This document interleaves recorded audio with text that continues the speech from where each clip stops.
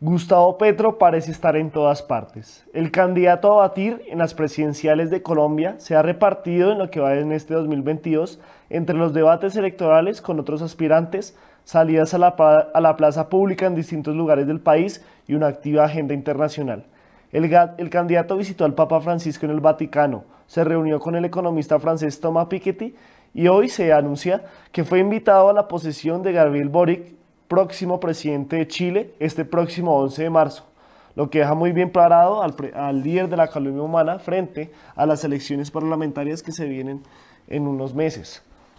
Vean, estas son las imágenes que hemos podido recolectar de las diferentes giras europeas que ha hecho el presidente Petro, el candidato a la presidencia Gustavo Petro en las últimas semanas donde pues ha visitado como si fuera un mandatario más, como si fuera un jefe de Estado, diferentes eh, pues puestos políticos, diferentes dirigentes políticos y por supuesto pensadores alrededor de todo el mundo, en el que se destaca el Papa la visita de ayer que duró 40 minutos y la cual pues eh, dejó sin con la boca abierta a varios de sus contrincantes que no se esperaban que el sumo pontífice se reuniera con Petro. Inclusive comparan que Petro es considerado ya internacionalmente como el próximo presidente de Colombia por algunos analistas y expertos por pues, eh, la importancia de sus encuentros y por supuesto la duración. Recordemos que el Papa Francisco cuando se reunió con el presidente Duque no tuvo una audiencia más larga de 20 minutos y con Gustavo Petro tuvieron casi 45 minutos y hasta intervino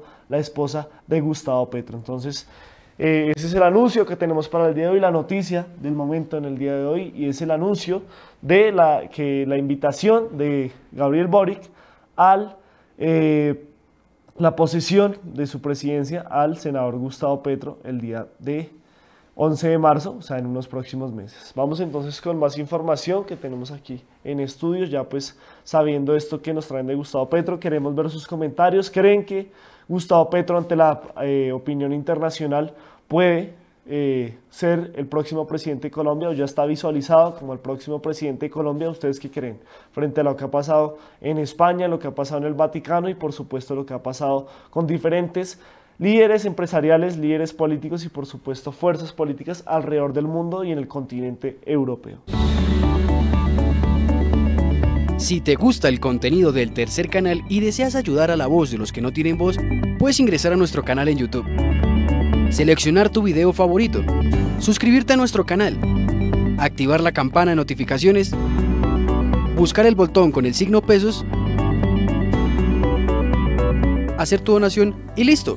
Estarás contribuyendo a la labor del tercer canal, la voz de los que no tienen voz.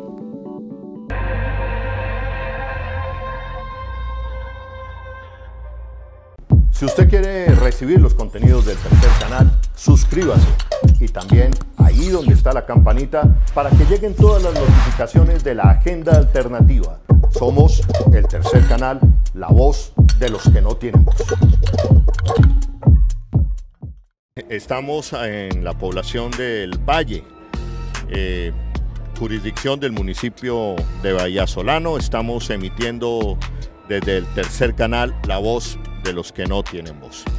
El canal que claramente y de manera transparente le decimos a los colombianos, tenemos una mirada progresista del país, le estamos dando la voz a estas personalidades, a esta lectura de país. El tercer canal, el canal de las víctimas, el canal de la paz, el canal de los derechos humanos.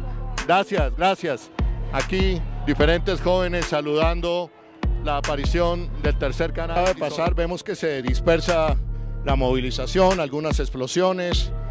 Los jóvenes están saliendo en ese momento de la Plaza Bolívar. ¿Qué pasó?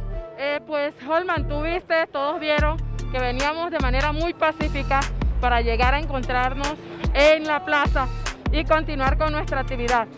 Pero esto es lo que quieren causar. Esto es el temor que nos quieren infundir. Desde el tercer canal, la voz la voz de los que no tenemos voz, nos sentimos muy orgullosos de esta, de esta transmisión porque cumplimos con nuestra línea editorial. Darle voz a los que no tienen voz, la promoción de la paz, de la vida, de los derechos humanos. No hay derecho que volvamos otra vez a repetir esa película de barbarie, de tragedia.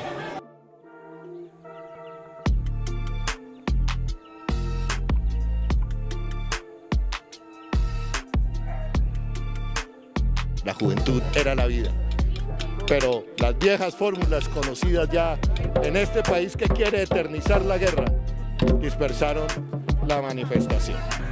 Como he venido diciendo, se repite la película película de la guerra, de los desplazamientos y de la violencia. Y esta película tiene nombre propio y responsables propios. Hacer trizas la paz. Y vamos a decirlo sin miedo, yo lo digo sin miedo. Yo me siento orgulloso de ustedes.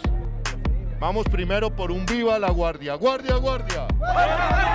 Guardia, guardia. Por mi raza.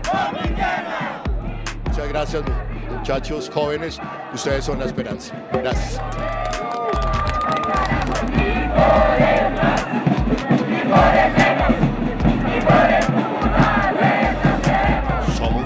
El tercer canal, la voz de los que no tienen voz.